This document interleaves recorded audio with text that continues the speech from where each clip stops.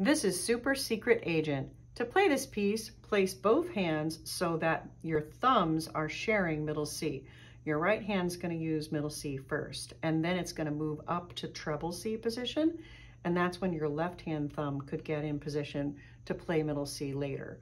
You're also going to need B flat with your left hand and E flat with your right hand. Here we go.